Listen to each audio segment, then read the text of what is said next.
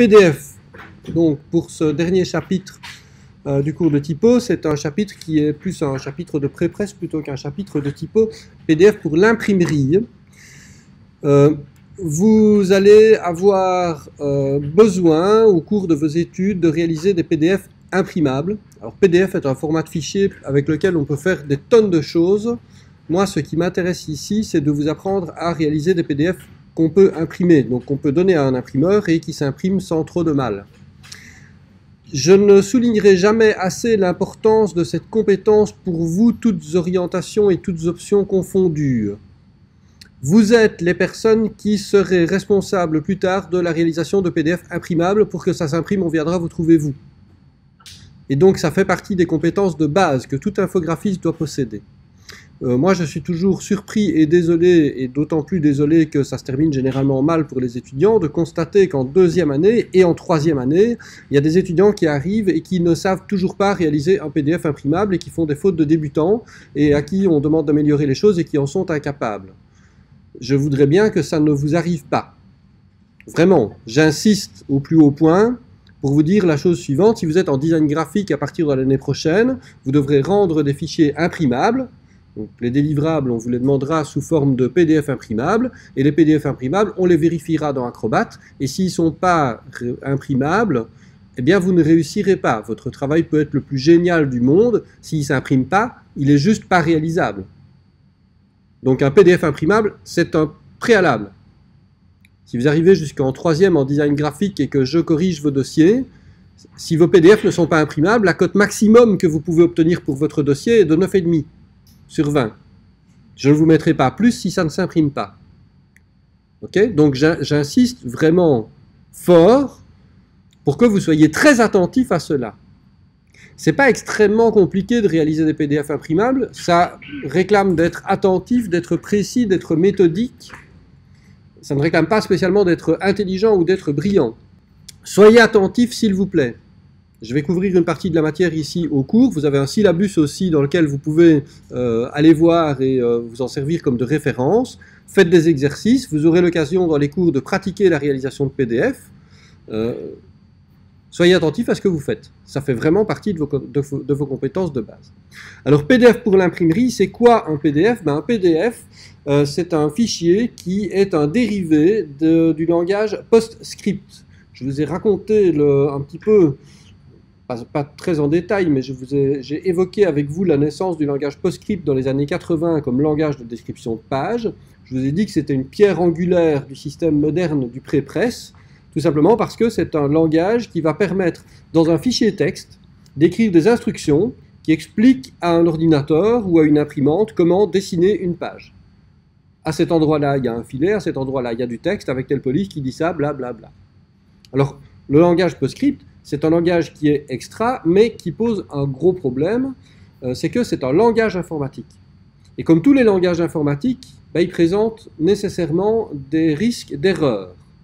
Quand on crée un programme en langage informatique, ben, on risque toujours à un moment donné qu'il y a un bug et que donc ça ne s'affiche pas. Dans les années 80 et les années 90, il n'était pas rare d'imprimer ou d'essayer d'imprimer quelque chose et puis de constater qu'on avait juste l'imprimante qui sortait une feuille où il était écrit postscript erreur numéro machin, et puis un, tas de caractères informes qui ne voulaient rien dire, et l'illustration ne s'imprimait pas.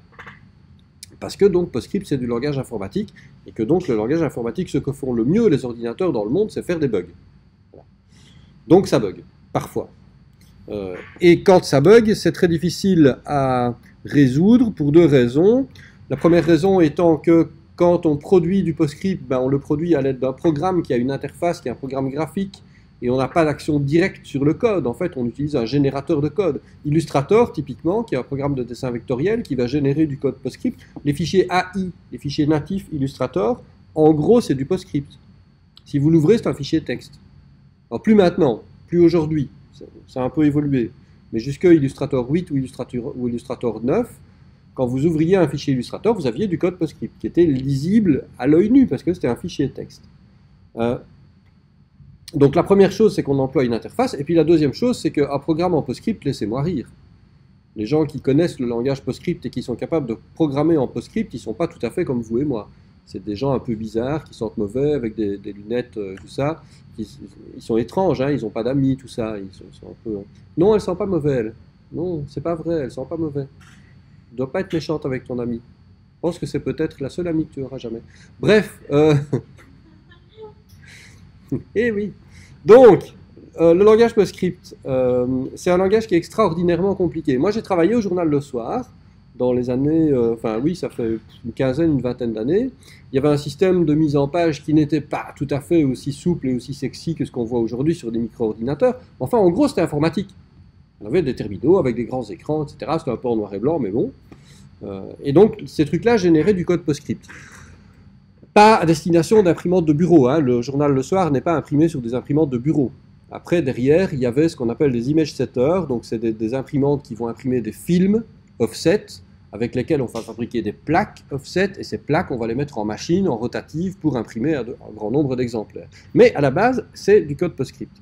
Et donc, euh, des fois, ça plantait. Donc, il y a des gens qui faisaient de la mise en page, puis qui envoyaient une page dans la machine, dans le serveur, et puis ça plantait, et on n'avait pas, il n'y avait rien qui sortait, on avait une erreur à l'écran, voilà, telle page est en erreur. Et il y avait un gars qui travaillait au journal le soir, j'ai oublié son nom, mais c'était un gars, un, gars un peu bizarre, euh, avec une barbe comme ça, qui pas, pas très, l'air un peu. J'ai rien contre les gens qui ont de la barbe, hein, tu comprends bien, mais bon, euh, il était un peu bizarre quand même, et euh, on avait un peu l'impression que qu'il habitait là, vous voyez, que, c'était sa maison, enfin, sa maison, je sais pas, il a peut-être un terrier dans la cave ou un truc comme ça, très étrange. Et le type, en fait, quand on avait une erreur post-script, c'est le gars qu'on appelait, et alors il venait en bougonnant, il était toujours fâché. Et alors il se mettait devant un grand moniteur, 24 pouces comme ça, monochrome vert, avec des... Moi je voyais, enfin pour moi, vous auriez jeté des nouilles sur le moniteur, c'était pareil quoi, parce que plein de caractères. Et donc il, tapotait, il faisait tac tac tac tac tac, vous voyez les pages qui défilaient. Bah oui, bah là voilà, voilà, voilà, maintenant ça marche, tac, et il renvoyait le truc et ça marchait. Entre ça et la fabrication de balais volants pour Harry Potter pour jouer au Quidditch, pour moi, il n'y a pas de différence de compétence, c'est pareil. Moi, je ne vois pas. C'est magique, c'est spécial.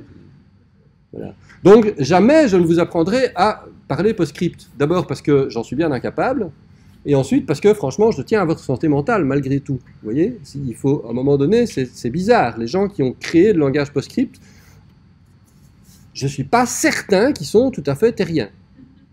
Il est possible, il y a une faible possibilité pour qu'il soit d'origine extraterrestre. Voilà. Tout ça pour vous dire donc que PostScript, c'est un peu curieux, mais surtout, c'est un langage informatique interprété. Vous savez qu'il y a deux types principaux de langage en informatique. Il y a des langages interprétés des langages compilés. Ça va devenir important dans un instant. Je vous expliquerai, je reviendrai dessus là dans un instant. Mais comme tous les langages informatiques, ça bug. Et donc, PostScript, ben, à la fois c'est bien et à la fois c'est un risque d'erreur. Alors on a évolué à partir de PostScript. La première évolution du PostScript, c'est euh, ce qu'on a appelé l'encapsulation du PostScript, c'est-à-dire qu'on a euh, pris du langage PostScript et on l'a encapsulé avec des descripteurs, parce que PostScript, en fait, il a quelques lacunes. Par exemple, PostScript, il n'y a, pas d'instruction dans PostScript pour indiquer à l'interpréteur euh, la taille de la page, par exemple. C'est un peu curieux il y a des techniques pour contourner ça, mais en gros, dire qu'on travaille sur un papier qui fait autant sur autant, c'est pas possible. Alors quand on a un EPS, un PostScript encapsulé, ça veut dire qu'il y a du langage PostScript, et puis autour, on a mis un espèce de descripteur. Alors le descripteur va décrire notamment le format de papier, euh, des, commentaires, le titre du truc, etc. C'est assez rudimentaire, mais il y a un truc important. Dans une capsule PostScript, il y a une version bitmap de l'illustration généralement en basse résolution, donc un truc léger, mais il y a euh, une version euh, pixelisée, si vous voulez, de, l'illustration. Alors ça c'est pratique, pourquoi? Parce que quand on place un postscript dans une mise en page, faut bien vous rappeler, là je vous parle de techniques qui datent d'avant les années 90. ok? Les ordinateurs avec 4 euh, mégas de RAM, mégas, pas giga, 4 mégas de RAM, voire 6 pour les plus, les plus chers, et avec des processeurs qui tournaient à 2 MHz, j'ai pas dit gigahertz, hein, j'ai dit mégahertz 2. ok? Donc les trucs, en gros, vos iPhones sont plus puissants. Hein? Bien, se mettre dans l'état de l'époque. Vous imaginez bien que pour un appareil de cette nature-là, lire un fichier PostScript, l'interpréter, le pixeliser et afficher les pixels à l'écran, Le tout rapidement, parce qu'après l'utilisateur va dézoomer ou déplacer, c'est infaisable. Ça ne marche pas. C'est juste pas possible. Donc, la capsule PostScript, elle est pratique parce que quand on fait de la mise en page, ce qui va s'afficher à l'écran pendant la mise en page, c'est pas le dessin lui-même, c'est la version pixelisée qui est dans la capsule. Donc c'est un proxy, c'est une image qui est légère et qui donne une idée de ce qu'il y a dedans, qui va s'afficher à l'écran, et donc on peut travailler de manière beaucoup plus efficace. Donc, première évolution, c'est faire évoluer un petit peu le PostScript avec des commentaires et des données annexes autour. Ça reste du PostScript, si ça plante, ça plante. Donc on a fait évoluer ça vers le format PDF. Euh, PDF, euh, ça veut dire, si je me souviens bien, Portable Document File, donc fichier document portable, qui va être précompilé, encapsulé, balisé et enrichi. Alors ce qui nous intéresse le plus là-dedans, c'est le précompilé. Le PDF est c'est du PostScript qui est précompilé. Qu'est-ce que ça veut dire précompilé? Le code informatique, il y a deux grandes variétés. Il y a du programme informatique interprété et du programme informatique compilé.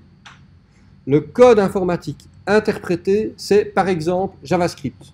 On vous a mentionné JavaScript, on vous a expliqué ce que c'est. Vous tapez des instructions en texte clair avec des mots qui ressemblent à de l'anglais et vous écrivez tout ça dans une page qui est du texte. Et puis ça arrive dans un navigateur et le navigateur va interpréter les commandes une à une. Donc il va faire comme vous, il va lire les lignes. Il le fait un peu plus vite, mais il va lire les lignes et il va connaître la signification des mots et faire des actions en fonction de ça. Pour qu'il soit capable de faire ça, derrière, il faut qu'il y ait un interpréteur, donc un programme informatique qui est capable de faire fonctionner la machine avec des vrais mots. Vous vous rendez bien compte qu'un ordinateur, ça travaille avec des 0 et des 1. Et donc il faut transformer les, mots qu'on voit à l'écran en instructions réellement exécutables par l'ordinateur. Ça, c'est de l'interprétation. Ça veut dire que l'ordinateur le fait sur base de la forme brute de votre programme, ligne par ligne, mot par mot. C'est la même chose avec PHP. Vous avez certainement déjà dû entendre parler de PHP aussi. PHP, c'est un langage de programmation pour les serveurs web. Donc vous avez des pages qui sont en texte, ça ressemble un peu à du JavaScript, du PHP. Hein. Vous avez des mots qui sont en anglais avec des parenthèses, machin. Et c'est un fichier texte sur le disque dur. Et à chaque fois qu'il est exécuté, l'ordinateur va lire chaque ligne du fichier, chaque mot, et va interpréter une à une les commandes. C'est pratique parce que c'est immédiat. Vous écrivez du texte Tagada, c'est une instruction, l'ordinateur l'exécute tout de suite, c'est immédiat, mais vous vous doutez bien que ce n'est pas la technologie la plus rapide. L'ordinateur doit à chaque ligne, à chaque mot, passer son temps à interpréter. Ce n'est pas forcément très très efficace. L'autre grande variété de code informatique, c'est ce qu'on appelle le code compilé. Alors par exemple, si vous voulez écrire une application pour Windows ou pour Mac, et vous voulez avoir un truc où ça arrive sur le bureau, une petite icône, et vous double-cliquez, et ça lance un programme qui fait plein de trucs. Ça, c'est pas du tout du code interprété.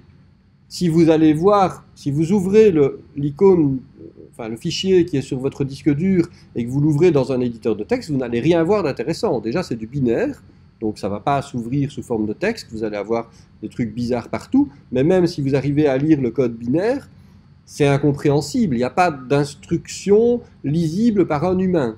Pourquoi?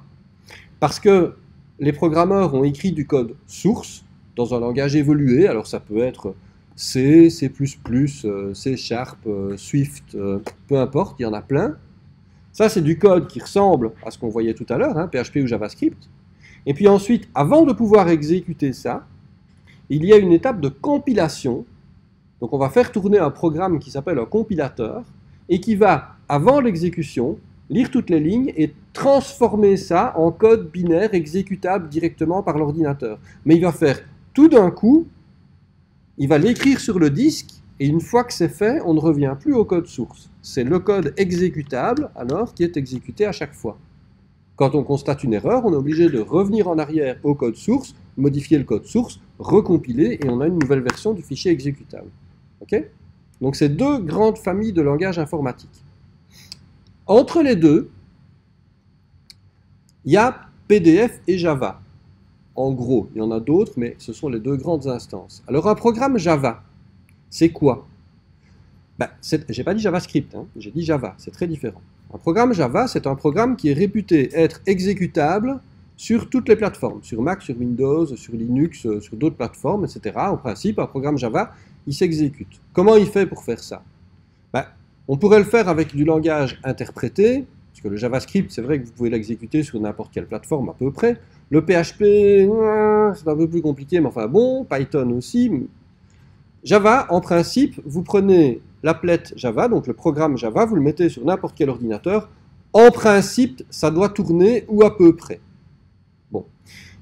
Pour faire ça, on va précompiler. C'est-à-dire que on va prendre le code source vous avez écrit, le langage Java ressemble encore une fois lui aussi à du C euh, ou à du, enfin plutôt à du C++ ou à du JavaScript ou à du PHP, c'est le même genre d'instruction. Si vous ne connaissez pas le langage, vous n'allez pas vraiment voir la différence. Et ce langage-là, on ne va pas le transformer en code machine parce que le code machine exécutable, bah, il est différent sur Mac et sur Windows et sur Linux. C'est pas le même.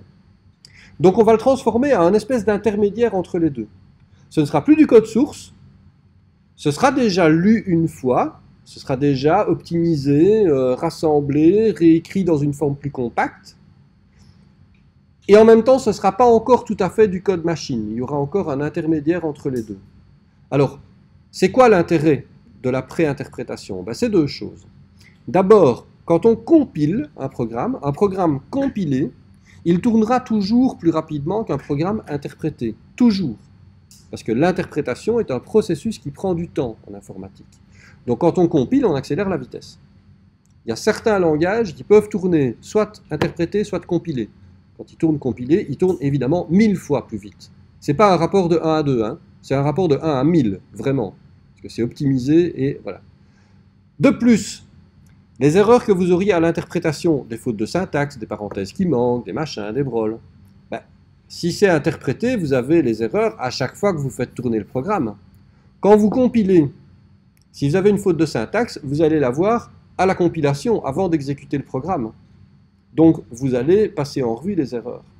Java, si vous avez une faute dans le code source, il ne vous fera pas votre applet Java. Il va vous dire pop, pop, pop, pop, je ne peux pas précompiler, il y a ça, il y a ça qui ne va pas. Ok, je corrige. Ah, bah là, je vais précompiler. Et eh bien, PostScript, c'est la même chose. Les fameuses erreurs PostScript qui étaient si nombreuses et si emmerdantes à corriger euh, au début de l'informatique, quand on transforme du code PostScript que vous ne voyez jamais, hein, il est mystérieusement caché dans votre ordinateur, mais quand vous le transformez en PDF, eh bien en gros, vous corrigez 99% des sources d'erreurs. Donc là où en imprimant du code PostScript, vous pourriez avoir des erreurs d'interprétation, des, des vieux syntax errors de nos ordinateurs d'antan, ben, avec un PDF, en général, non. Vous avez beaucoup moins d'erreurs en imprimant un PDF. Quasiment plus. C'est un, format qui est à peu près error-free. En plus, c'est un format qui euh, va être optimisé parce qu'en pré-compilant, en pré-interprétant les données, eh bien, on va pouvoir les optimiser. Donc, ça veut dire quoi? Leur faire prendre moins de place et les rendre plus faciles à exécuter une fois qu'elles arrivent sur l'imprimante. C'est ça le principe de la précompilation. C'est donc quelque chose qui est très très précieux par rapport au PDF. Ce n'est pas la seule qualité d'un PDF. Un PDF, comme un PostScript ou un EPS, peut contenir des données binaires, des données de type bitmap, donc des pixels. On peut placer des données en pixels dans un dessin vectoriel. PDF le fait de manière plus efficace que le langage PostScript parce que dans un PDF, on peut les optimiser, ces données. On peut les compresser, on peut les optimiser. Les données du fichier PDF sont, de manière générale, compressées. Donc, avec exactement le même contenu, un fichier PDF sera toujours plus compact, moins lourd qu'un fichier PostScript. Il est compressé. Ça, c'est bien aussi parce que ça permet de gagner de la place. Le, format PDF permet d'utiliser des calques, de la transparence, des modes de fusion. Alors ça, c'est bien et c'est pas bien. C'est bien parce que ça vous permet de faire des fichiers qui sont à peu près équivalents à ce que vous avez dans vos logiciels de mise en page. Et en même temps, pour l'imprimerie, c'est pas bien. Vous allez voir que je vais vous montrer les réglages pour, pour générer un PDF imprimable. Le premier truc que je vous dirai, c'est utiliser une version du format Acrobat qui ne supporte pas les calques ni la transparence. Pourquoi? Ben, Tout simplement parce que quand vous avez des calques avec un mode de fusion entre les deux, Le résultat que vous voyez à l'écran, il dépend de votre ordinateur. Si vous envoyez le même truc à un autre ordinateur, le résultat qu'on voit à l'écran dépend de l'autre ordinateur et vous n'êtes pas sûr de ce que ça va donner.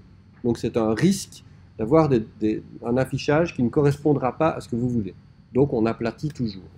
Donc calque, transparence, mode de fusion, c'est très bien, mais pour l'imprimerie, on ne va pas l'employer.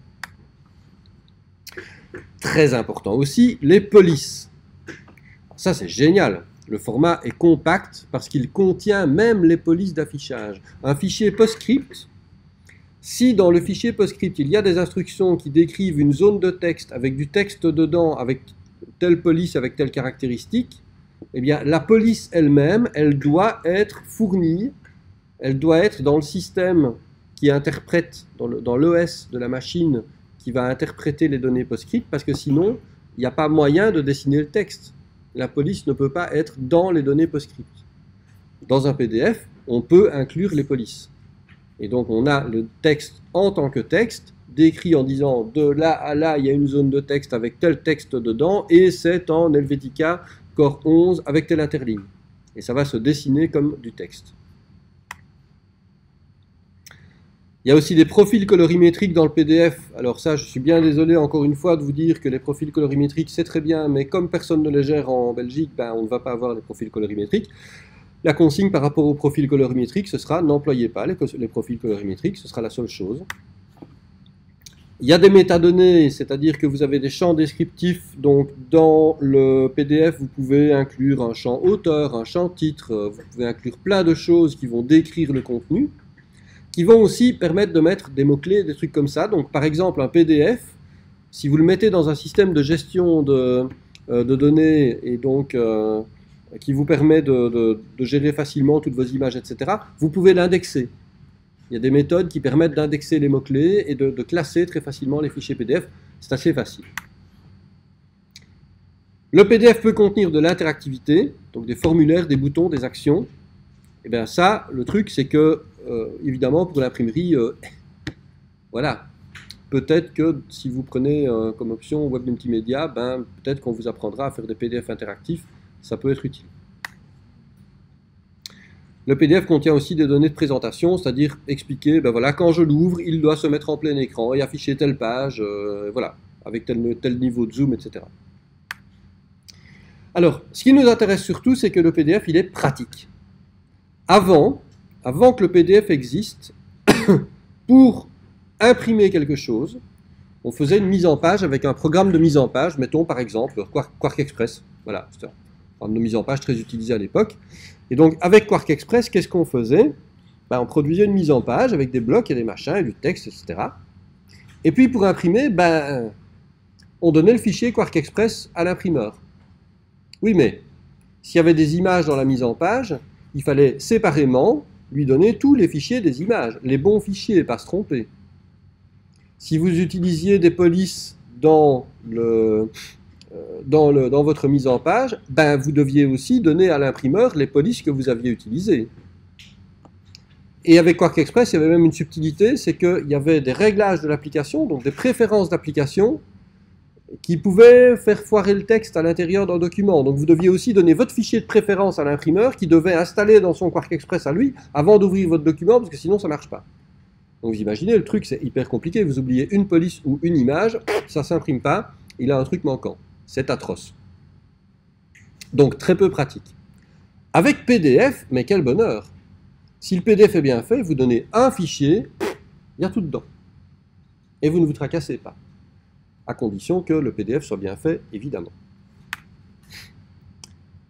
Je vous ai dit que les données PDF étaient compressées, donc c'est pratique aussi parce que le fichier PDF, on peut compresser les données, on peut le faire d'une manière qui est prévisible, donc on ne va pas juste donner des images en espérant que la qualité soit bonne, on peut vérifier la qualité des images, tout ça est prévisible et tout ça est paramétrable. Donc c'est extrêmement précieux pour le graphiste qui peut donner juste les bonnes données à l'imprimeur avec le format le plus efficace possible. On peut gérer la colorimétrie, sauf qu'on ne le fait pas, mais en principe on peut. Et on peut gérer la sécurité, c'est-à-dire qu'on peut crypter le PDF, le protéger par des mots de passe, euh, le signer, le certifier, etc. En même temps, protégé par un mot de passe, si vous tenez vraiment à ne pas vous faire casser la gueule par votre imprimeur, je vous conseille d'éviter les mots de passe dans un PDF imprimé parce que ce n'est pas drôle en fait. Ça ne va pas le faire rire. Je vous montrerai toutes ces options-là aussi. Vous avez des métadonnées qui sont spécifiques au print, c'est-à-dire que vous pouvez inclure dans les métadonnées du PDF des données qui sont relatives à l'impression. On ne le fait pas spécialement non plus, mais je vous en parlerai dans un instant. Et ce qui est génial avec PDF, c'est que donc, comme la qualité est paramétrable, et que vous pouvez choisir exactement ce que vous mettez dans le PDF, ben, vous pouvez, avec le même workflow, vous pouvez produire un truc qui va être d'une qualité impeccable pour l'impression professionnelle, ou bien un truc en basse résolution sans bord perdu qui va servir juste pour l'affichage à l'écran parce que c'est la version web du rapport ou bien une version avec une résolution moyenne et une qualité pas top, parce que c'est juste pour faire une épreuve pour relire le texte. On peut avoir plusieurs usages pour le PDF selon les paramètres que l'on va euh, mettre dedans, qu'on va choisir pour le générer. Ok? Ce qui est impératif, c'est de contrôler la qualité. En fonction de l'usage que vous avez décidé de réserver à votre PDF, impression finale, euh, épreuve, euh, euh, machin de contrôle pour l'écran, etc. En fonction des standards que vous devez respecter, d'après ce que l'imprimeur vous a dit, bah, vous allez avoir des paramètres qu'il faudra vérifier. Donc vous ne pouvez pas juste générer un PDF. Générer un PDF, ça nécessite de savoir quels sont les paramètres à appliquer et d'appliquer les bons. Si vous n'appliquez pas les bons, bah, ça ne marchera pas. Il est absolument important aussi d'être capable de gérer la qualité en fonction des objectifs que vous voulez atteindre. Ben, paramétrer le PDF avec les bonnes options de qualité, c'est super important. Je vous en parlerai en pratique dans un instant en vous montrant la boîte de dialogue. En marge du PDF, il existe un autre format de fichier qui est associé qui s'appelle JDF. JDF, c'est Job Definition Format. Alors, JDF, vous allez probablement jamais travailler avec, mais vous devez savoir que ça existe parce que si ça tombe, il y en a peut-être parmi vous qui vont être techniciens dans une imprimerie et qui vont générer des flux de travail avec JDF. C'est quoi le JDF C'est la description de A à Z du travail depuis la, depuis la réception du PDF jusqu'à la livraison de l'objet fini. Donc vous allez avoir dans un JDF des instructions concernant euh, la manière dont il faut faire des épreuves, le papier sur lequel il faut imprimer, euh, le nombre d'exemplaires, la qualité des encres qu'on doit employer, le type de papier qu'on doit employer, euh, la finition, la reliure, etc., etc. Vous envoyez, vous, un PDF pour un bouquin à l'imprimerie, et donc vous donnez une série d'instructions à l'imprimeur, voilà, il faut autant d'exemplaires sur tel papier, autant de pages, donc des cahiers de autant, finition comme ça, avec une couverture, avec une reliure, machin. Et eh ben l'imprimeur, il va encoder tout ça dans un JDF, et le JDF, c'est un système de gestion électronique du document. Donc ça veut dire quoi? C'est-à-dire qu'on va rentrer tout dans le système. Le ou les PDF qui constituent le travail, les options du job. Et puis à chaque étape à l'imprimerie, on pourra contrôler ce qui est fait et ce qui est à faire. Par exemple, je sais que le bouquin, il faut un bon à tirer et puis il va à l'impression. Ben moi, je vais générer un bon à tirer, donc je le vois hein, sur mon écran, il y a les options du job. Je, je crée les fichiers d'impression pour le bon à tirer, et j'envoie le bon à tirer sur telle imprimante, et je marque OK, c'est fait. Et puis je fais signer le bon à tirer par le client, et j'ai une case dans mon JDF où je peux cocher, voilà, le bon à a été tiré, a été, le bon à tirer, pardon, a été signé par le client, donc c'est bon, on peut avancer. Ah oui, on peut avancer, et c'est quoi? Eh ben, Il faut ripper les fichiers, il faut le mettre au planning d'impression, donc on va dire, voilà, ce serait imprimé sur telle presse, tel jour, à telle heure, avec tel papier, donc préparer le papier avant. Donc le magasinier qui fait le papier, il a le même JDF, il sait qu'il doit préparer ce type de papier-là tel jour à telle heure sur telle presse. Euh, dans la presse, il faut mettre telle encre, c'est pas forcément de la quadrille, on peut imprimer avec autre chose, donc on a tout qui est prêt. On a des profils d'ancrage, ça c'est un truc très technique pour l'imprimerie, je vous expliquerai l'année prochaine, mais on, peut paramétrer la manière dont l'encre se répartit sur les rouleaux dans la presse d'imprimerie, et on peut les calculer de manière électronique avec en regardant les PDF, donc on a des profils d'ancrage qu'on peut préparer et puis transmettre électroniquement, donc pas les régler à la main, hein. on envoie vraiment des fichiers à la presse offset qui va elle-même régler ses encriers. Et le nombre d'exemplaires, bah, il sera aussi dans la presse, donc elle sait qu'une fois qu'on dit « ok, les réglages sont bons, vas-y bah, elle en tire 2000, 5000, 10 000, peu importe, on paramètre le nom. Et puis après, on sait que ça doit aller à la pliure, à la découpe, etc. etc. Voilà. Tout est prévu dans le JDF. Donc le JDF, c'est un format qui est très pratique, très technique pour les imprimeurs, qui ne vous concernera vraisemblablement jamais, mais sachez que ça existe. Donc il y a même la possibilité de gérer le flux de travail, euh, du travail en entier de A à Z à l'intérieur du format Acrobat. JDF, c'est une, euh, euh, c'est une extension du format PDF. Voilà. Alors, tout ça ne vous intéresse pas plus que ça. Ce qui vous intéresse, vous, c'est de savoir comment on fait des PDF. Alors, vous devez savoir une chose, c'est que le... Alors, comment est-ce que je fais? Tagada, voilà. Quand vous utilisez les programmes Adobe, les fenêtres de dialogue qui vous permettent de, paramétrer les, fichiers PDF sont toujours à peu près les mêmes. Que ce soit dans Photoshop, dans Illustrator, dans InDesign, enfin, Photoshop, on ne peut pas souvent des PDF, mais dans Illustrator et dans, InDesign, euh, vous avez les mêmes fenêtres de paramétrage. Donc je vais vous montrer des exemples ici dans InDesign. Si je faisais avec Illustrator, ce sera la même chose. Parfois, vous avez des, trucs spécifiques. Genre, dans InDesign, on vous demande si vous voulez faire des PDF avec page par page ou planche par planche. La planche, c'est les deux pages, gauche et droite en même temps. On ne fait jamais pour l'imprimerie des PDF par planche, évidemment. Parce que personne ne sait, en fonction du, schéma d'imposition, c'est pas forcément la page 3 qui sera à côté de la page 2. Hein. donc euh, voilà, on ne fait jamais ça. Donc on imprime toujours par page. Si vous générez un PDF euh, avec Illustrator, eh ben, Illustrator va vous demander si vous voulez conserver les capacités, euh, c'est quoi? Conserver les fonctions d'édition d'Illustrator. Ça veut dire quoi? Ben, Ça veut dire que quand on génère un PDF, la fameuse précompilation, la préinterprétation, fait qu'on va découper les tracés. Le résultat physique de ça, c'est qu'on a des tracés découpés. Ah, le problème, c'est que quand on a un beau tracé et puis qu'il est découpé et qu'on doit l'éditer après, ben, on ne sait plus l'éditer. Donc, alors vous pouvez demander qu'on limite l'interprétation et que les tracés ne soient pas découpés, que ça reste éditable facilement dans Illustrator. Parce qu'un PDF, vous pouvez l'ouvrir dans Illustrator. Hein. Il s'ouvrira toujours. Après, la manière dont il est édité, ah, c'est un peu plus compliqué. Donc, je vais vous montrer ça dans InDesign. On va parcourir toutes les options ensemble. Euh, vous, avez une référence dans le syllabus avec toutes ces options-là. On n'a pas l'occasion, évidemment, ici au cours théorique de faire euh, des essais pratiques, mais je vous encourage très vivement à faire des tests chez vous avec des fichiers que vous générez et puis que vous suivez euh, en flux de travail. Alors, d'une manière générale, et c'est très important, pour générer un PDF, vous avez toujours deux étapes.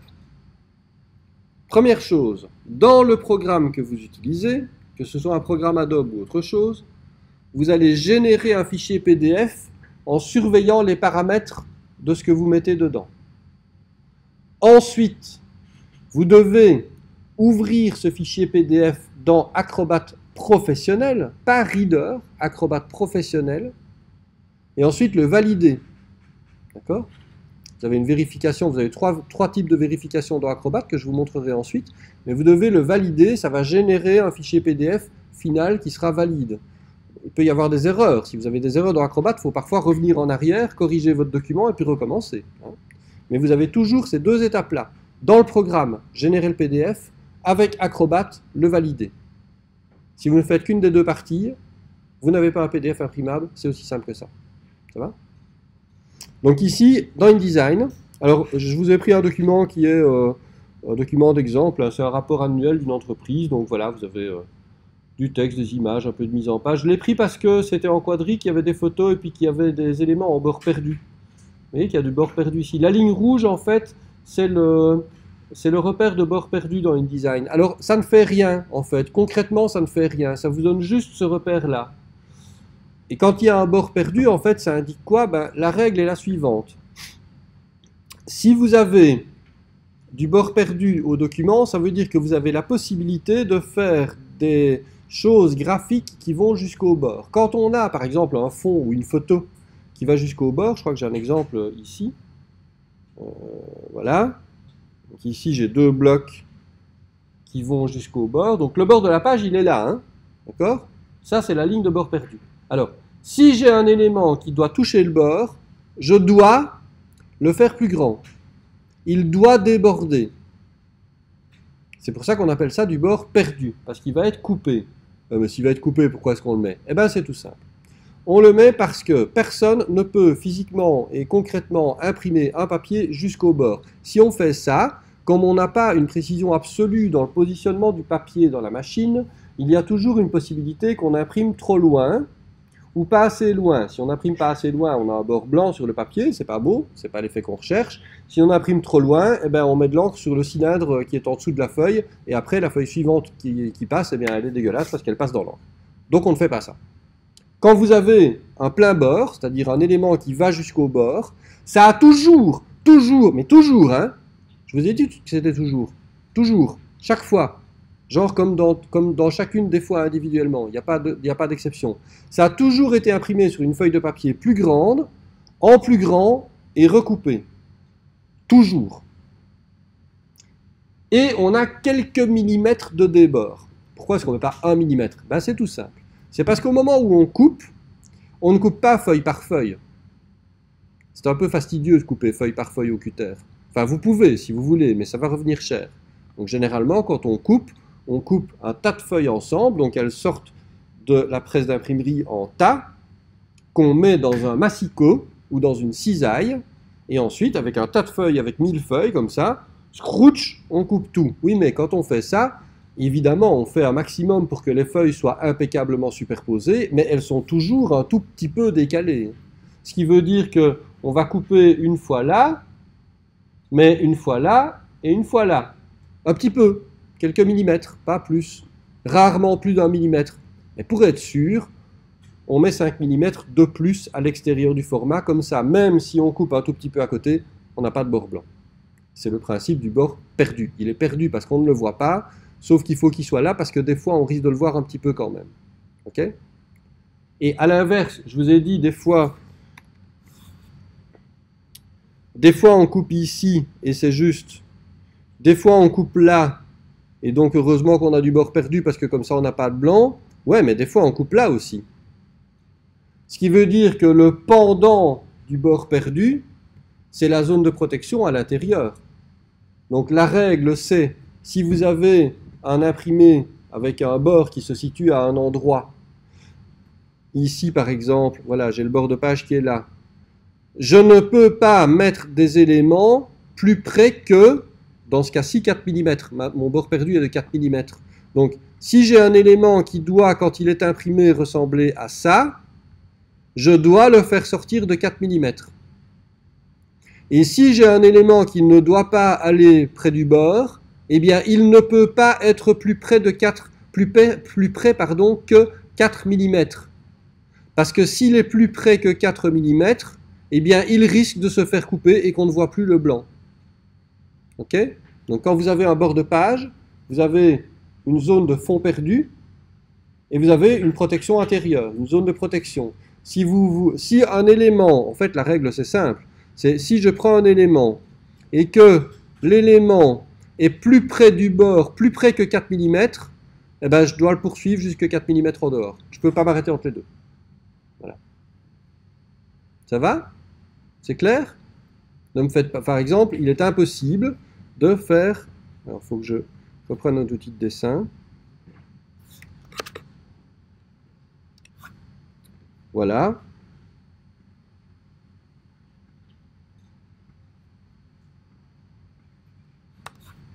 Ça, il est impossible d'imprimer ça. Vous ne pouvez pas. Parce que ce cercle-là, qui est tangent avec le bord, eh ben, de temps en temps, il y aura une toute petite marge blanche au-dessus, et de temps en temps, il sera coupé. À cause du fait que lorsqu'on imprime et lorsqu'on coupe, les feuilles ne sont jamais exactement repérées, elles bougent parfois un petit peu. Voilà. Donc on ne peut pas faire ça. Soit on fait ça, soit on fait ça. Entre les deux, il n'y a pas place. D'accord? C'est super important parce que si vous voulez faire, c'est une faute classique de débutant et que les débutants non graphistes ont souvent du mal à comprendre, Mais quand on veut faire un élément qui va jusqu'au bord, il faut qu'il déborde du bord. Et ça, les gens ont du mal à comprendre, qu'il faut faire plus grand. Et donc, ne faites pas, ne faites pas comme les débutants, faire de la mise en page comme ça, et puis vous demandez comment diable vous allez faire pour agrandir, pour faire du bord perdu. Faites le bord perdu tout de suite. Ce qui ne gêne pas. Faites-le. Ça déborde du format, c'est rien. Allez-y. D'accord?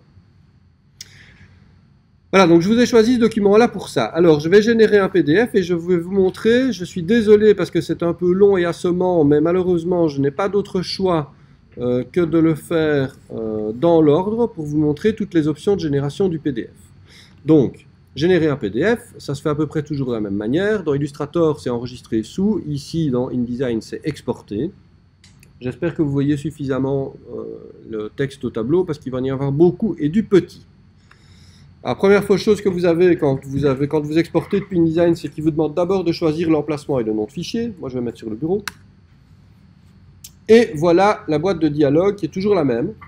Vous avez trois menus ici qui restent constants, et puis vous avez des onglets, donc des catégories de trucs qui sont là, tac, tac, tac, tac, tac, qui ne changent pas.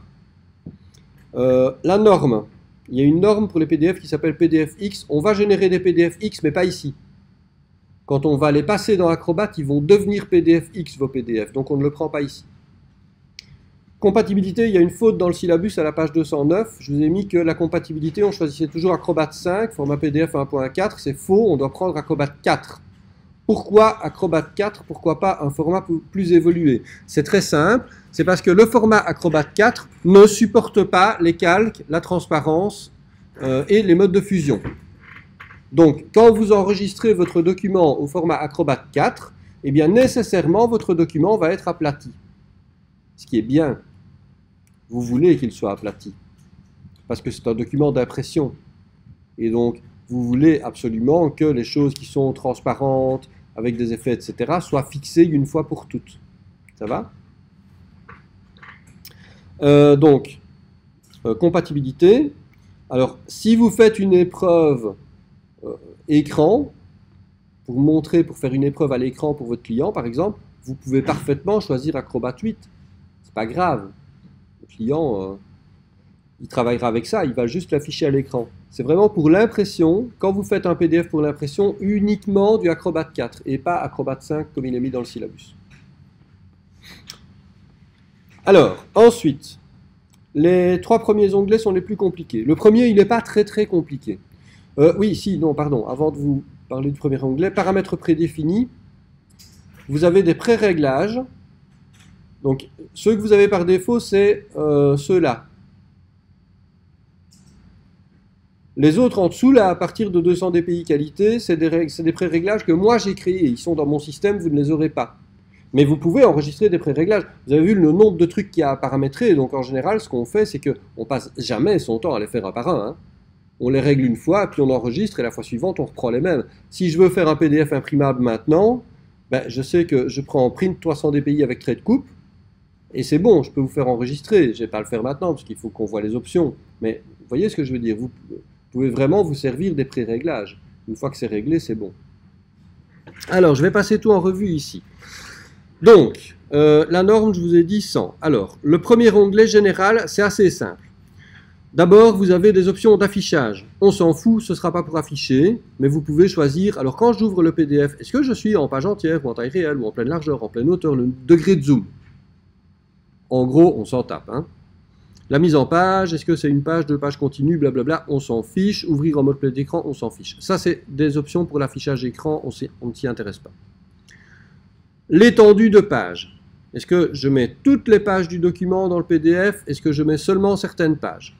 Ça paraît logique. Est-ce que je mets des pages? Est-ce que je mets des planches? Vous vous souvenez, quand on fait les planches, c'est la double page. Pour l'impression, jamais. Vous donnez des pages à l'imprimeur, il se débrouille. D'accord ne, ne vous mêlez jamais de faire des planches. Ceci, on va tout décocher aussi parce que ce sont des options qui ne sont pas utiles pour l'imprimerie. Incorporer les vignettes de page, c'est quand vous ouvrez le PDF à l'écran dans Acrobat, vous avez sur le côté une colonne avec toutes les pages, avec une miniature des pages. On s'en fout, pas pour, ça ne sert à rien pour imprimer. Optimiser pour un affichage rapide sur le web, on va pas sur le web, c'est pour imprimer.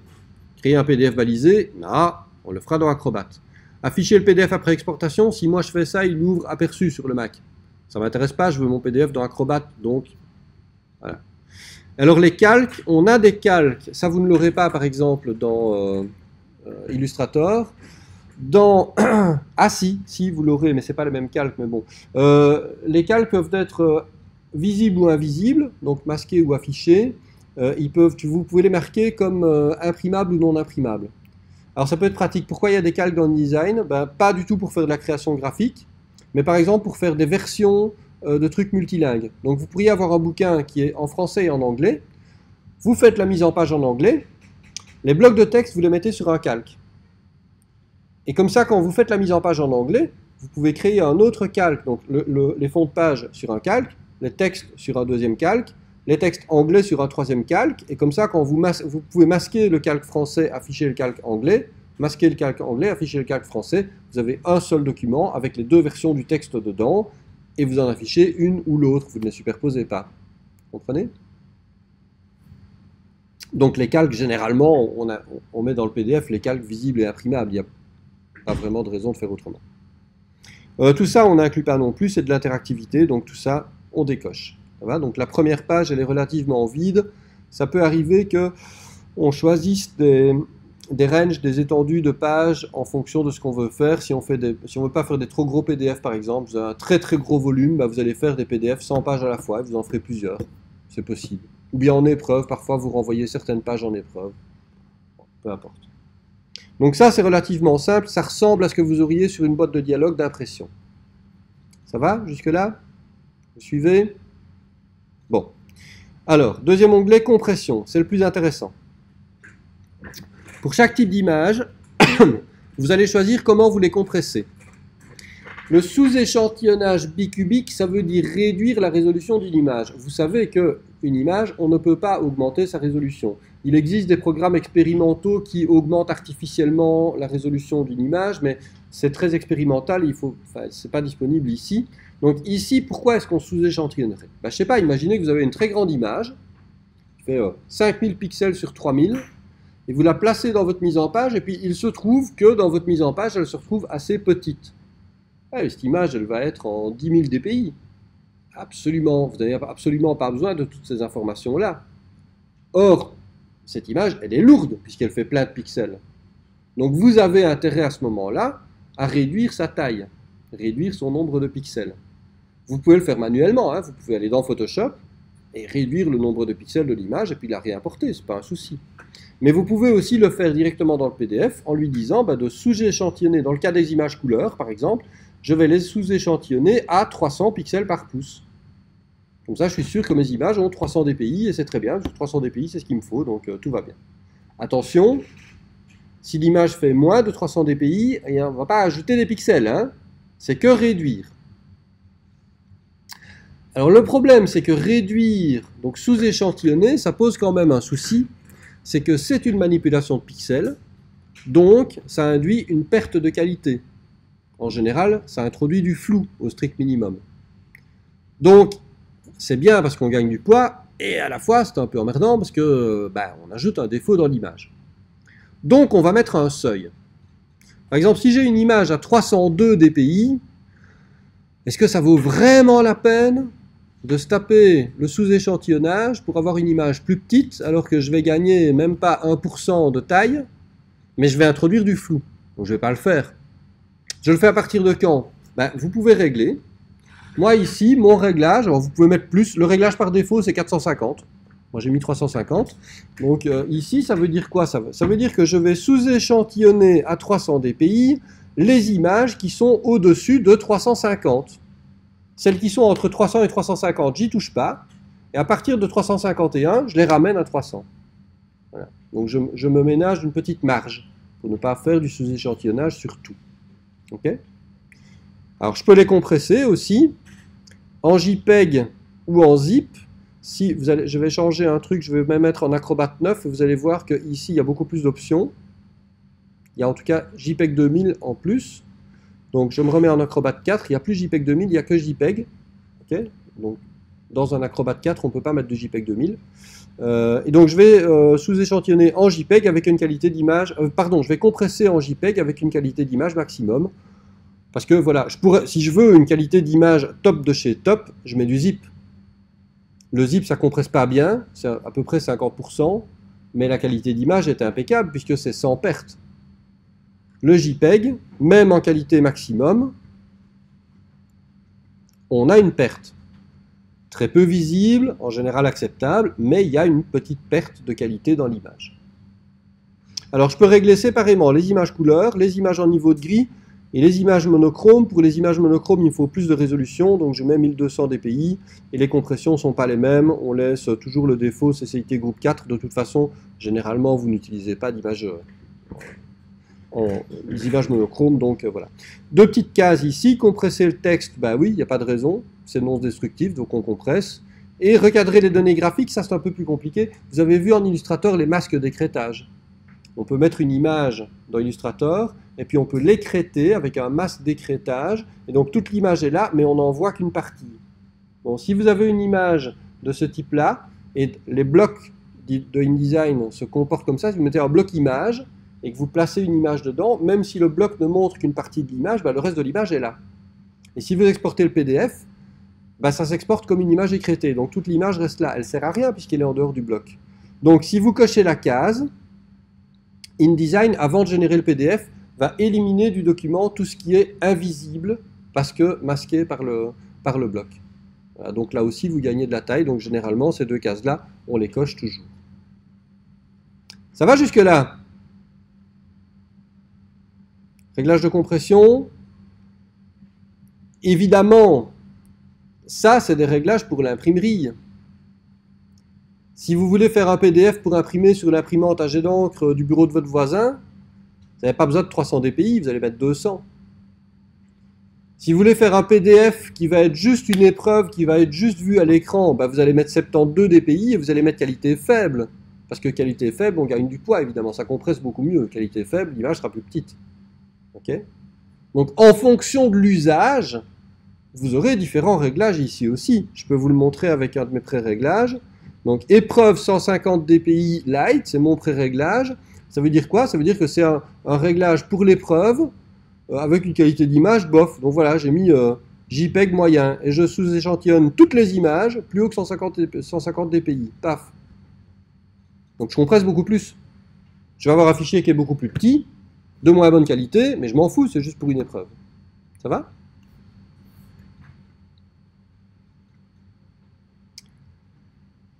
Troisième onglet, les repères et les fonds perdus. Alors, euh, Je vais bien vous montrer autre chose. Oui, bon, ben, je vais vous montrer là. Ça, c'est des traits de coupe. C'est quoi? Bah, c'est l'endroit où on doit couper pour avoir le format. Le format, en fait, il est là. OK? Et donc, ça, c'est le bord perdu. Donc, le trait de coupe, on l'indique toujours. Ici, trait de coupe, il est coché. On le met. Repère de fond perdu, vous pouvez les mettre ou pas, on s'en fout, c'est pas utile, donc moi je les mets jamais.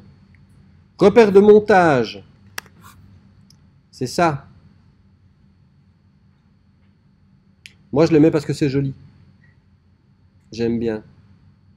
Et en fait, c'est utile, je blague, mais c'est utile quand même, parce que avant, c'était des repères qui servaient vraiment pour le montage des films qu'on devait superposer exactement, blablabla, bla bla, je vous passe les détails. Mais quand on imprime, l'imprimeur, avec ces espèces de petites mires là, eh ben, il peut vérifier que les couleurs sont bien alignées les unes sur les autres. Donc on les met toujours. Les gammes de couleurs, on les met jamais parce que ça mange dans le bord perdu et ça sert à rien, donc on les vire. Par contre, les informations sur la page, on les met, c'est ceci. Donc vous avez quoi? Vous avez le nom du fichier, la page, la date et l'heure. Ça, c'est utile non seulement pour vous, mais aussi pour l'imprimeur.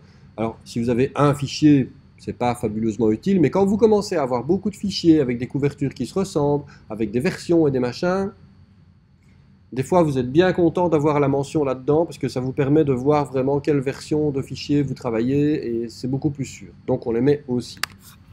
Donc, trait de coupe, repère de montage, information sur la page, pas de repère de fond perdu, pas de gamme de couleurs. ok? Vous avez les réglages de traits de coupe, mais ça, on s'en fiche, vous ne regardez pas. Fond perdu. Alors, fond perdu. Euh, oui, alors il y a link block, je passe déjà à, ceci. Link block, en fait, je suis désolé de vous dire ça, ça fait 12 ans que j'utilise euh, InDesign, ou 15 ans même que j'utilise InDesign, je ne sais pas ce que c'est une link block. Je suis un peu honteux de vous l'avouer, hein, comme ça, je fais un peu mon coming out comme ça, mais, je ne sais. Voilà. Si quelqu'un sait ce que c'est une link block, c'est un terme de typographie en fait, hein, une link block. C'est la ligne qui a été composée dans le composteur, et puis euh, quand elle est placée après dans le, le, ah, ça y est, j'ai oublié le nom de cette, de cette forme. Euh, ça s'appelle une link block, mais je ne sais, enfin, je comprends pas. Voilà. Donc si vous êtes gentil, vous irez, vous chercherez, vous pouvez m'expliquer. Vous aurez un demi point de plus. Ah Attention ici. Oh une qui se réveille. Ah On pourrait plus ici. Attention. Hein. Ouais, non, mais c'est vrai. Franchement, si tu trouves, je t'offre un demi-point. Ainsi que ma reconnaissance éternelle. Eh, ça vaut quelque chose quand même. Quoi? Euh, alors, fond perdu. Vous avez des réglages de fond perdu dans le PDF. Alors attention, le fond perdu. D'abord, vous avez utilisé les paramètres de fond perdu du document. Vous pouvez cocher cette case et regarder ce qui va se passer en dessous. Tac, la valeur se met à 4 mm. Pourquoi? Ben Parce que dans mon document InDesign, j'avais réglé un fond perdu à 4 mm. La ligne rouge, là, elle est à 4 mm du bord. Il ne fait simplement que reprendre ça. Et donc, qu'est-ce qu'il va faire avec ça? Ben, Il va interdire aux éléments de fond perdu de faire plus de 4 mm il va pas faire du fond perdu là où il n'y en a pas. Hein. Étudiants, parfois, ils croient Ah ben j'ai qu'à cocher fond perdu et j'ai mis du fond perdu, il va y avoir du fond perdu. Non Si vous avez rien mis, il n'y aura rien. Vos éléments qui vont jusqu'au bord, il ne va pas les agrandir. Simplement, si ça déborde, eh ben, il va laisser déborder jusqu'à X mm. Je peux prendre les réglages du document. Si je les décoche, j'ai 5 mm. Par exemple, ici, regardez ce bloc-là. Il va jusque la ligne rouge. Oui donc il y a 4 mm de bord perdu, on est d'accord. Si je mets 5 mm ici, il y, aura toujours 4 mm de bord perdu. Hein. Simplement, je mets 5 mm ici, eh ben les lignes ici qui débordent beaucoup plus, il y en aura 5 mm. Il les coupera, pour pas en faire une infinité. C'est juste ça, c'est un maximum. Mais s'il n'y a pas de fond perdu, c'est pas là que vous allez le rattraper, il faut le faire à la main. Ok? Euh, Vous pourriez aussi avoir, donc si je fais de nouveau, je vais faire une épreuve. Alors, euh, voilà, euh, épreuve 150 dpi. J'ai du fond perdu dans mon document, j'ai réglé mes éléments pour qu'ils sortent du format, mais je règle ici 0 mm. Pourquoi? Bah, Parce que je fais une épreuve écran. Et donc je coupe. Des fois, quand vous faites des épreuves sur papier, il y a des gens qui sont incapables de saisir la notion de fond perdu et de trait de coupe. Ils n'aiment pas parce qu'ils voient un truc. Mais c'était plus petit. Oui, alors c'est plus petit, madame, mais il y a des lignes, c'est parce qu'on va couper sur les lignes. Et pourquoi vous n'avez pas coupé? Oui, non, bah alors, alors on va couper, hein, on va l'imprimer juste sans bord perdu, parce que sinon la madame, elle, ne s'y retrouve pas. Donc c'est juste, voilà, pour rendre service au client. Donc dans ce cas-là, je vais forcer le fond perdu à faire 0 mm. Donc il n'y en a pas. Ça va? Encore une fois, différents paramètres selon l'usage. Si je fais une épreuve et qu'il faut que je n'ai pas de bord perdu, ben voilà, je vais faire comme ça. Généralement, quand je fais ça, je ne mets pas de trait de coupe, évidemment. Les traits de coupe ne sont pas très utiles puisqu'il n'y a, rien à couper. Et si je fais une épreuve, et si je fais un PDF pour l'impression, ben je vais faire ça. Là, je mets du bord perdu. OK? Ça va toujours? Je vous demande, hein, parce qu'on n'a pas fini encore. Hein. Rassurez-vous, on a fait le plus dur. Sortie, c'est assez simple. Vous pouvez convertir les couleurs vers des profils colorimétriques de destination, auquel cas vous allez choisir le profil de destination, et vous pouvez inclure ou pas les profils de destination dans le PDF. Et vous m'avez vu me dire, hein, puisque donc nous sommes en Belgique et que personne n'inclut les profils et donc on met ne pas inclure. On n'utilise jamais les profils colorimétriques, ils sont très seuls, ils se sentent euh, délaissés abandonnés du monde, mais malheureusement, comme ce sont des fichiers informatiques, on s'en fout. Et donc voilà, on n'utilise pas les profils colorimétriques. Le jour où euh, on les utilisera, je vous promets, je vous préviendrai, mais là, jusqu'ici, chaque fois que j'ai demandé à un imprimeur ce qu'il voulait comme profil, il m'a dit rien, rien, parce que le premier truc qu'on fait, si vous incluez des profils, nous, c'est les supprimer. Bon, ok. Dans ce cas, je n'insiste pas. Voilà. Quand ça marche, ça sert à avoir des couleurs qui sont constantes d'un bout à l'autre de la chaîne graphique. Donc par exemple, je peux calibrer mon moniteur et lui inclure un profil colorimétrique, donc comme ça les images seront rectifiées à l'affichage pour qu'elles aient vraiment la même couleur qu'à l'impression. Et donc j'ai un profil dans le scanner, dans l'écran, dans l'imprimante d'épreuve et dans la presse d'imprimerie. Et en fonction de ça, il va ajuster les couleurs pour que ça sorte toujours de la même manière. Mais malheureusement, euh, voilà, il n'y a personne qui les utilise, c'est bien malheureux. Alors vous pouvez en parler à M. Anceval si vous voulez. Est-ce que vous avez déjà... C'est M. Anceval qui vous donne l'image numérique? Voilà, donc vous pouvez lui parler de... Hein? Alors il y en a qui fait oui, l'autre qui fait non, décidez-vous. Ah, vous l'avez en quoi? Ah oui, d'accord, ok. Bah, vous pouvez lui parler des profils colorimétriques de ma part. Et en général, quand je fais ça, il soupire parce que ça fait 10 ans que je lui fais le coup. Et alors, lui, il aime bien. Alors, il sait travailler avec les profils colorimétriques. Donc, moi, je comprends pas tout, hein, honnêtement. Profil colorimétrique, je, vois le principe, hein, mais après, euh, je fais le malin en t'expliquant à quoi ça sert. Mais en gros, je sais pas le faire. Hein. Voilà, non, mais il faut être, honnête un peu. Mais il n'y a pas d'intérêt à ce que je sache le faire, puisque de toute façon, ça ne marche pas. Euh, mais donc, monsieur, euh, monsieur euh, lui, il a vraiment étudié le problème plus à fond, donc vous pouvez lui en parler, il vous expliquera avec plus de détails.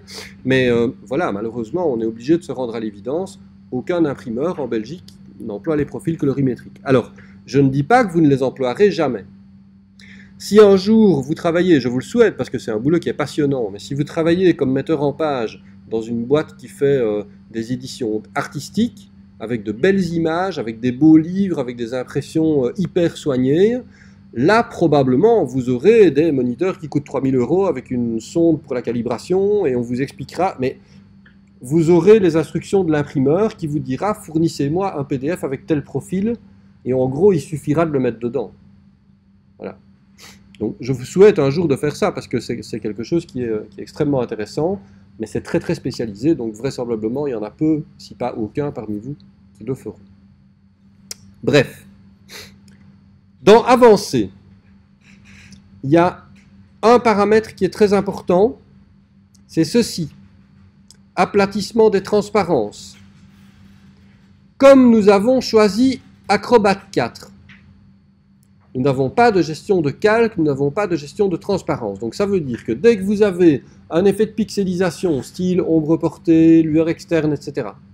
Dès que vous avez un objet qui est transparent avec un mode de fusion, dès que vous avez des calques avec des modes de fusion, ça va être aplati. Et pour aplatir, il n'y a pas 36 solutions, il va pixeliser. Donc vous avez des paramètres et vous devez toujours choisir haute résolution. Haute résolution, il va faire quoi?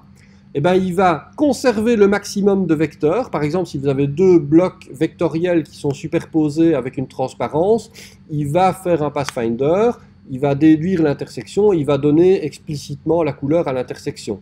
Mais il va conserver des vecteurs.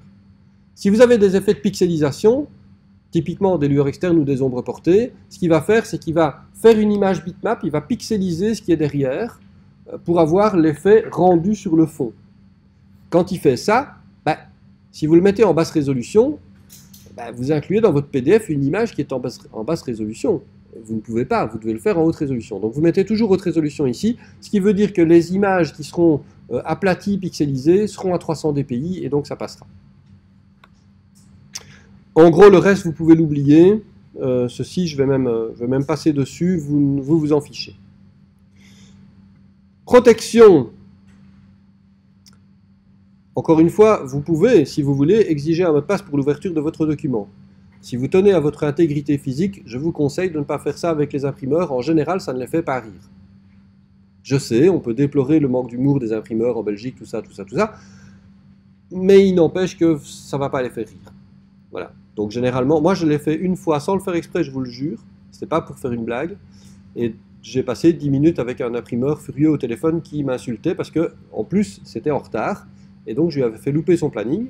Et donc, euh, il m'a incendié. Il a décalé le travail. J'ai été en retard avec mon client. Je me suis fait engueuler par le client. C'était une assez mauvaise idée, en fait. Voilà, je ne le referai. D'ailleurs, je ne l'ai jamais refait. Parce que pas vraiment de raison. Je vous montre juste une chose.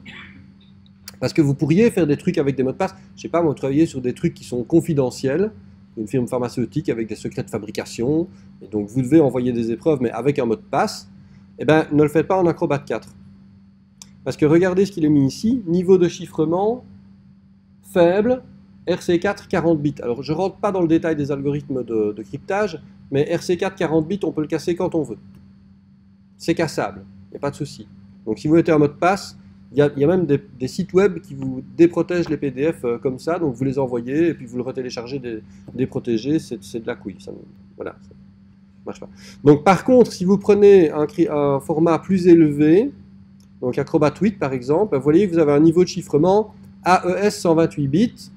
AES 128 bits, c'est incassable.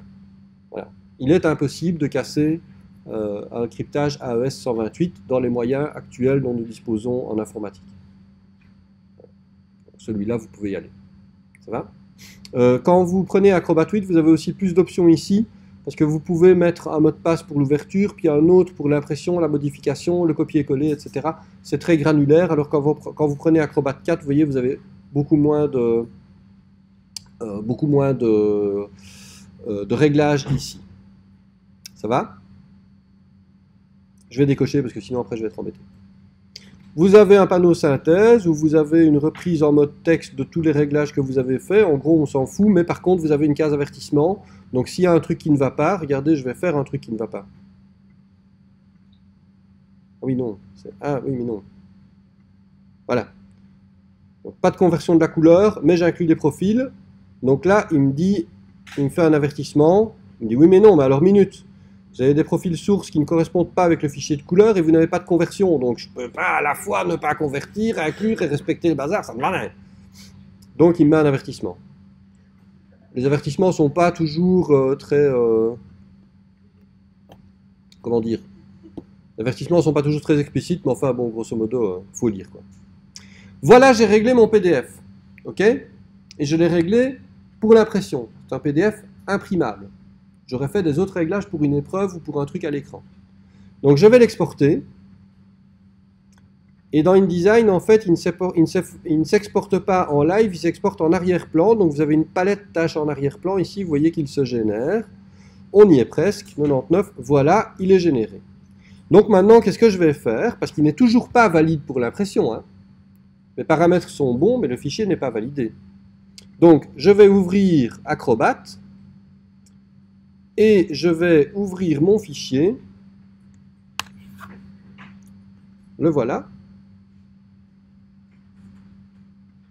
Donc vous voyez que c'est bien celui-là. Il y a bien des traits de coupe. Voilà, il s'affiche à peu près correctement. Le premier contrôle d'imprimabilité qu'on fait, c'est visuel. Est-ce que j'ai bien des bords perdus? On dirait, hein Là, ça a l'air d'aller, là, ça a l'air d'aller. Je vais aller chercher une page avec des photos pour voir si les photos débordent bien. Tac, tac. Donc celle-là, elle n'est pas en plein bord. Voilà, celle-là, elle est en plein bord. Ben, vous voyez, oui, effectivement, j'ai bien du plein bord sur les quatre côtés, donc ça fonctionne. Ça, c'est une chose. Il y a trois contrôles à faire dans Acrobat. Premier contrôle, c'est visuel. Est-ce que j'ai des traits de coupe? Est-ce que j'ai du plein bord? Est-ce qu'il me fallait des traits de coupe et du plein bord? Je vérifie qu'il y en a, mais si ça tombe, il m'en fallait pas. D'accord? Donc je vérifie l'état du plein bord et des traits de coupe comme il me fallait les avoir. Ensuite, vous allez dans les outils, vous prenez les outils pré-presse. S'ils ne sont pas ici dans la barre latérale, vous allez dans Affichage, Outils, pré-presse. D'accord? Il y en a une volée, il y en a deux qui nous intéressent. Aperçu de la sortie, contrôle en amont. On commence par aperçu de la sortie. Voilà la fenêtre. Elle fait plein de choses, cette fenêtre. Mais surtout, elle va me donner les encres, les couleurs qui sont dans le document. Dans ce cas-ci, j'en ai quatre. Pas de surprise. Si je dois avoir du pantone en plus et que je ne le vois pas là, eh ben il y a un souci. Parce que je dois l'avoir comme cinquième couleur. Ici, j'ai que quatre couleurs. Généralement, vous allez imprimer en quadri, donc vérifier ici, globalement, ça signifie vérifier qu'il y a bien quatre couleurs. Mais si vous en avez une cinquième, une sixième, une septième, bah, vous devez les voir. Si vous ne les voyez pas, il y a un truc qui ne va pas. Ça va? Euh, Je retourne dans InDesign une seconde. Vous avez dans InDesign un gestionnaire de couleurs qui est dans la palette, euh, dans le nuancier, voilà. Gestionnaire d'encre. Alors vous avez accès à ce gestionnaire d'encre, j'ai oublié de vous montrer le bouton, mais vous, vous y avez accès dans la, euh, dans la fenêtre de génération de PDF. Dans l'onglet Sortie, vous avez un bouton qui vous permet d'ouvrir exactement de la même manière ceci. Vous avez la même fenêtre qui s'ouvre. Alors vous voyez que j'ai un Pantone, moi, dans mon document. Pantone RED 032. Sauf que j'ai coché quadri ici, et donc la petite icône ici signifie que ce Pantone, il est séparé. Je vous ai parlé des couleurs Pantone la semaine dernière. Je vous ai dit qu'on pouvait les imprimer en quadri, mais qu'elles n'avaient pas tout à fait la même couleur, mais on peut faire une approximation. C'est ce qui est fait pour ce Pantone-là. Il est séparé, c'est-à-dire qu'il va être imprimé en quadri. Donc je n'ai pas de cinquième couleur. Si je l'avais comme ceci, l'icône a changé, c'est un petit point, spot en anglais. Une couleur spot en anglais, c'est une couleur ton direct ou euh, euh, une couleur d'appoint. Donc c'est une cinquième couleur. Si je génère mon PDF maintenant, je vais avoir cinq plaques, enfin cinq couleurs au lieu de quatre. D'accord? Ce ne sera pas séparé. Donc ça, de nouveau, vous devez faire attention. Si vous avez besoin d'avoir des couleurs spot, ben, voilà. Typiquement, ce que vous avez quand vous, euh, créez une brochure avec des pubs, les pubs, généralement, c'est des PDF qu'on vous donne et que vous placez dans votre mise en page. Et le problème, si vous faites ça, c'est que euh, les PDF en question, ils vont parfois contenir des couleurs d'appoint, des couleurs spot. Typiquement, chez Coca, votre truc va arriver, il y aura 12 000 pantones dedans. Donc, vous devez arriver ici, et alors, vous pouvez le faire à la main quand il n'y en a que deux, à partir de 5, ça devient vraiment pelant. Donc, ça, c'est transformer le pantone en couleur quadri mais vous pouvez aussi simplement cocher quadrichromie, et là, toutes les couleurs deviennent des couleurs quadri. Donc pensez bien à ça, vous pouvez gérer la quadri et les couleurs d'appoint dans InDesign. Dans Illustrator, c'est un peu différent, mais je vous le montrerai en temps zéro. Peu importe, ici, j'ai de la quadri. Donc, deuxième vérification, ouvrir aperçu de la sortie, vérifier que j'ai bien le bon nombre d'encre. Ici, je voulais de la quadri, j'ai de la quadri, tout va bien. Troisième vérification, le contrôle en amont. Voilà la fenêtre de contrôle en amont.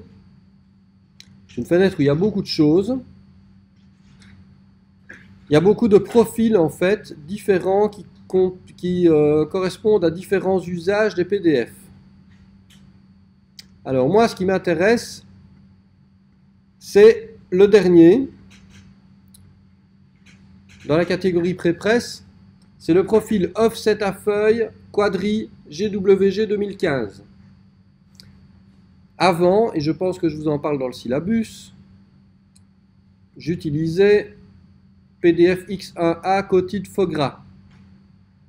C'est l'ancien profil de validation, on a fait mieux depuis, donc maintenant on utilise offset à feuille. Alors, remarquez une chose, ce profil vous donnera des erreurs si vous avez des couleurs d'appoint, parce que c'est un profil quadri. C'est des couleurs que vous pouvez ignorer. Si vous avez besoin de couleurs d'appoint, ignorez les erreurs. D'accord? Ici, je vais le prendre sans quadri, donc je n'aurai pas normalement trop d'erreurs. Donc je vais employer ce profil-là pour valider mon, euh, euh, mon PDF. Vous avez deux boutons. Vous avez Analyser, Analyser et Corriger. Moi, quand je prends vos fichiers, je fais Analyser et je regarde ce qui se passe. Et les erreurs, je les vois vous, pour générer un PDF imprimable, et moi maintenant pour générer un PDF imprimable, on va faire analyser et corriger. Alors, un des effets de ça, c'est que votre fichier PDF, qui n'était pas un PDF X, il va devenir un PDF X. Ok? Ce réglage-là va le transformer en PDF X. Il va faire toute une série d'autres modifications. S'il rencontre des erreurs, on va le voir. Et en fonction des erreurs, il faudra agir en faisant diverses choses. Je vais faire la validation maintenant, donc je fais bien analyser et corriger. Alors comme je fais analyser et corriger, il me demande où il doit enregistrer le fichier parce qu'il va le modifier. Moi je ne me pose pas de questions, je réenregistre au même endroit et je remplace, j'écrase mon ancien fichier, c'est pas grave. Alors, il est en train de travailler, vous voyez que ça avance, avec un peu de bol il ne va pas se planter, parfois ça plante. Il fait plein de choses. Quand vous voyez une clé anglaise à côté du, à côté du machin, ça veut dire qu'il a juste fait une modification, mais que ce n'est pas une erreur. Quand vous voyez attention, c'est un avertissement. Et quand vous avez une vraie faute, vous en verrez tout à l'heure, vous avez une croix rouge. Alors, c'est quoi la différence entre un avertissement et une croix rouge? Ben, Par exemple, il va faire des erreurs sur, la, sur la résolution des images. avec ce réglage-là, il veut que vos images fassent au moins 225 dpi réels. Si elles font moins, un petit peu moins, par exemple elles font 220, vous allez avoir un warning. Parce que c'est un peu trop peu, mais bon, ça va quoi. un peu. Si vos images font moins de 180 dpi, là vous allez avoir une croix rouge parce que c'est vraiment trop bas. Donc il y a deux niveaux d'avertissement des erreurs euh, de validation. Ok? Donc ici les clés à enfin les clés anglaises, je m'en fiche, tout va bien. Euh, et alors ici j'ai un avertissement, texte dont la taille est inférieure à 8 points avec plusieurs colorants euh, qui est à l'intérieur de la zone de fond perdu, donc on va le voir. Alors pourquoi est-ce qu'un texte de moins de 8 points et avec plusieurs encres, c'est mal? Parce que je vous ai dit, quand on imprime la, théorie voudrait que les encres se recouvrent exactement sur la feuille, mais parfois ça bouge un tout petit peu. Alors du texte qui est petit, c'est des tout petits détails, et il faut que ce soit net, sinon on ne sait pas le lire. Donc lui, il fait un avertissement, si on a du texte plus petit que 8 points et qui est en couleur, ça veut dire qu'on aura au moins deux encres qui se superposent, ben ça risque d'être flou et ça risque d'être pas visible, donc il fait un avertissement. Alors quand on a un avertissement comme ça, on va voir ce que c'est, j'ai chaque fois la liste vous voyez que ici il y a euh, 9 occurrences. Je ne le vois pas ici parce que ma fenêtre est trop petite, mais je vais l'agrandir pour que vous voyez. Voilà, 9 incidences sur deux pages. Si je déroule le bidule à l'intérieur, je vois les 9 incidences. Alors je vais aller voir où elles sont. Je vais d'abord agrandir parce que je sais où c'est et qu'il faut que j'agrandisse d'abord, sinon ça n'ira pas. Donc quand je sélectionne l'erreur, je peux faire afficher Voilà. Et il va m'amener sur la bonne page avec un cadre jaune autour de l'erreur. Vous voyez que ici, ben, c'est un texte qui est dans une note de bas de page. Mes notes de bas de page, elles sont encore 7. Et le truc, c'est que généralement, elles sont noires, mais que dans le document, les URL, elles sont en vert. Et donc, je ne sais pas faire grand-chose. Parce que le texte, il, ne pas changé. Et les autres, c'est pareil aussi. Hein. Si je vais voir celle-là,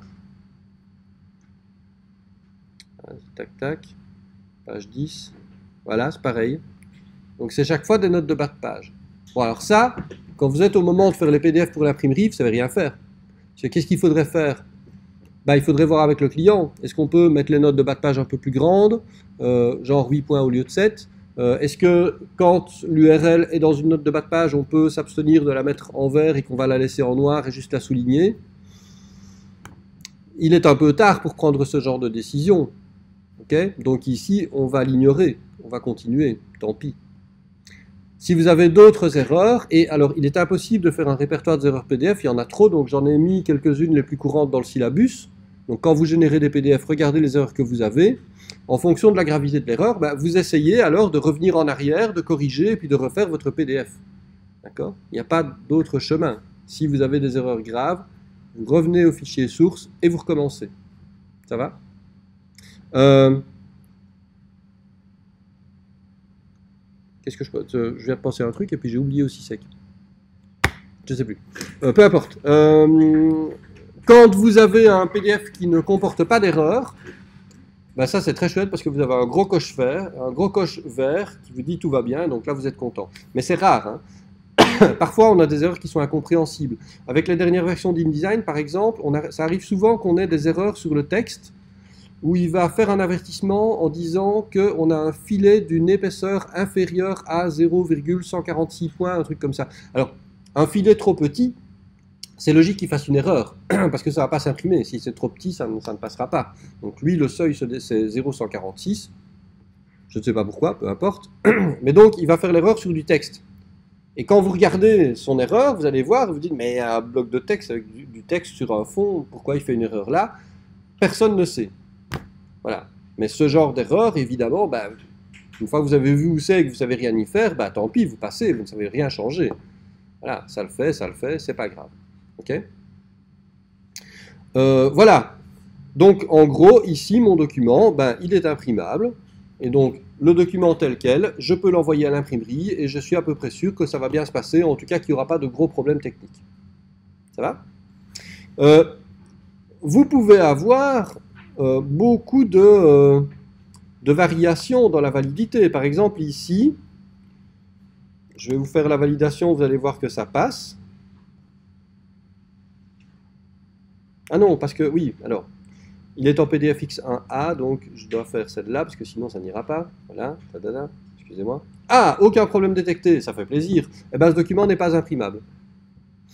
Est-ce que quelqu'un sait pourquoi?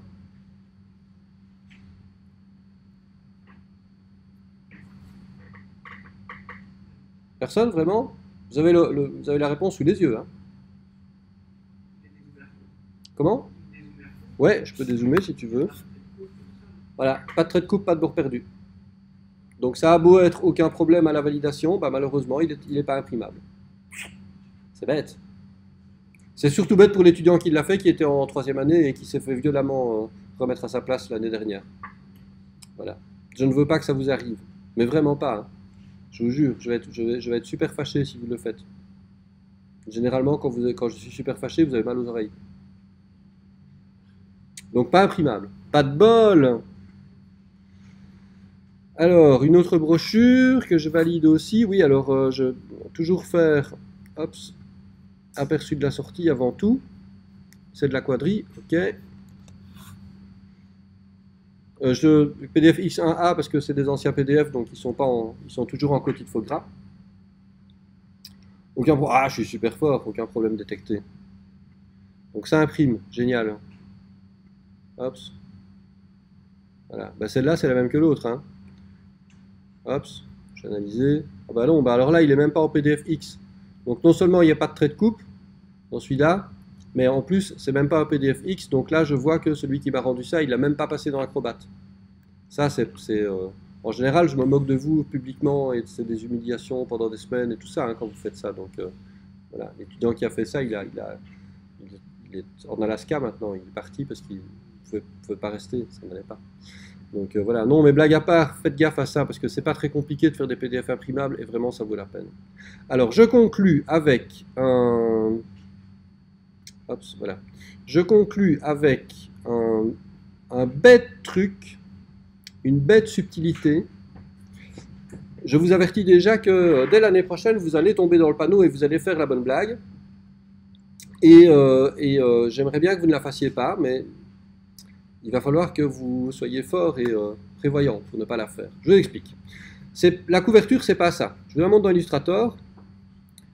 Voilà, hop. Donc c'est la couverture d'un rapport annuel un peu le même que celui qu'on a vu tout à l'heure. Euh, mais en gros, c'est ça. Voilà, c'est beau, hein Et alors dessus, il y a un vernis. Un vernis repéré. C'est quoi un vernis repéré? Ben, Ça veut dire que sur la couverture, en fait, on va euh, mettre un vernis brillant et vous savez, vous avez la couverture qui est mate, et puis euh, enfin, vous avez l'imprimé qui est mate, et puis à certains endroits, il y a du brillant, donc déjà ça ressort, et puis au, toucher, ça fait un truc un peu, c'est un peu kitschouille, hein, mais je suis sûr que vous avez déjà vu ça euh, euh, sur certains imprimés. Alors, comment est-ce qu'on fait un vernis repéré? Ben, C'est une couleur, ça se fait en machine, donc on fait simplement une cinquième couleur. Donc moi ici, regardez dans mon nuancier, ben, j'ai une cinquième couleur que j'ai appelée vernis, voilà, c'est une couleur quadri, j'ai mis 100% cyan parce que je m'en fous de la couleur. De toute façon, moi j'ai juste besoin de la voir, donc j'ai mis 100% cyan parce que ça se voyait à l'écran. Mais c'est bien un ton direct. C'est pour ça que j'ai dans le nuancier ce petit point là. Vous voyez le coin qui est coupé, mais il y a un petit point dedans qui veut dire que c'est une couleur spot, c'est une couleur d'appoint, c'est un ton direct. Euh, donc, cette couleur là, je génère mon PDF, je vais dans Acrobat et j'obtiens ça.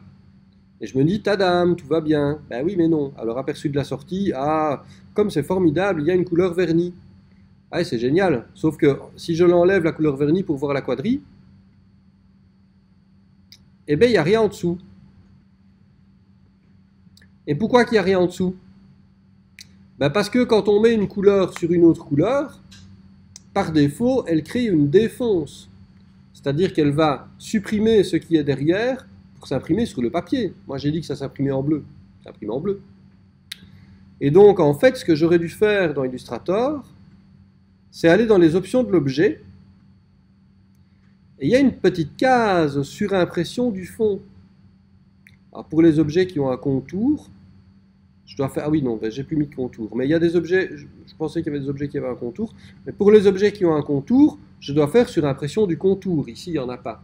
Et là, sur impression du fond, faut que je le, faut que je le coche. Quand je fais ça, je ne vais pas avoir la différence dans Illustrator, en tout cas pas comme ça. Mais si je coche sur impression, ça veut dire que cette couleur-là va se surimprimer aux autres. Donc elle ne va pas créer de défonce derrière, elle ne va pas supprimer les éléments qui se trouvent derrière. Si je génère mon PDF avec la case sur impression du fond cochée, là ça va être très différent. Hop. Déjà je le vois comme ça, parce que je vois bien que le bleu se superpose aux images qui sont derrière, parce que j'ai coché ici simuler la surimpression. Et si je masque le vernis, ben, vous voyez que j'ai effectivement mon image en entier, et quand le vernis euh, euh, est, déposé sur la feuille, il est déposé sur les autres couleurs, qui ne disparaissent pas en vertu de la présence du vernis. D'accord? Donc ça aussi, ça fait partie des critères d'imprimabilité. Si vous avez un vernis, si vous avez quelque chose qui doit se surimprimer au reste, ben, vous devez avoir fait gaffe à la surimpression, parce que sinon, eh ben, vous allez avoir un gros problème. Ça va? Généralement, le texte noir, en petits caractères, on le coche toujours en surimpression, comme ça, quand il est sur un fond de couleur, il n'y a pas de défonce dans le fond de couleur, on a un fond de couleur qui est uniforme, et puis dessus, on a le texte en noir, et on est sûr qu'il n'y a pas de frange blanche autour, donc on n'a pas de problème d'ajustement. Mais ça, euh, InDesign le fait tout seul. Il va automatiquement, le texte noir, le mettre en surimpression, vous n'avez pas besoin de vous, en. Dans le cas d'un vernis que vous créez à la main comme ceci, eh ben, il faut que vous le fassiez, parce que sinon, personne ne le fera à votre place. Et donc, encore une fois, ça, je l'ai appris à la dure, puisque l'imprimeur m'a téléphoné le jour où il a commencé mon travail en disant Dites, c'est normal que le vernis, euh, il est sur du blanc. ah non, arrêtez, je vais vous renvoyer un fichier. J'ai oublié. Voilà. Parce que si vous ne le faites pas, et qu'on imprime 3000 couvertures, et qu'on les relie, et qu'on livre au client, qui fait Mais enfin, c'est blanc eh ben, vous perdez sacrément votre vie parce que c'est un contrat à 3500 balles et que donc vous payez 3500 euros pour réimprimer de votre poche. Et là, ça fait mal aux fesses, mais alors? Voilà. Ça m'est jamais arrivé, donc j'imagine, mais rien que d'imaginer, j'ai mal. Donc, ça veut dire que les PDF, vous avez vu, c'est pas extrêmement compliqué, mais des réglages, il y en a quand même beaucoup. Il n'y en a aucun qui est scientifiquement très élaboré, mais vous devez être attentif à ce que vous faites. D'accord? Prendre les choses une par une, bien vérifier chaque truc, et puis évidemment, à un moment donné, vous enregistrez vos pré-réglages. Moi, quand je fais des PDF d'impression, je ne regarde plus jamais les réglages. Je prends mon pré-réglage 300 dpi, impression, trait de coupe, paf, je sais que c'est bon. Voilà, je ne pose plus la question. Mais il faut que vous preniez le temps de regarder toutes les options pour faire vos propres réglages qui vous conviendront. Ça va?